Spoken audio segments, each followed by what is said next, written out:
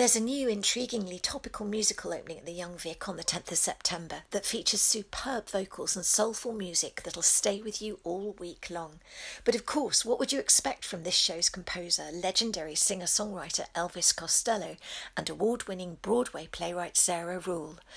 A Face in the Crowd is based on the 1957 Hollywood film of the same name and stars Ramin Karimloo and Anoushka Lucas and follows the story of a radio producer who gives a slot on her show to an enigmatic drifter called Lonesome Rhodes, only to discover she's unleashed a force she can no longer control. As countries across the world head to the polls in 2024, this timely new musical reignites a Hollywood classic about celebrity, power, and politics. It's a fork in the road, just a freckle of a place. Plain as the nose that they punch on your face, where the people have spoken and they're talking in tongues, and nobody gets older, they just get younger.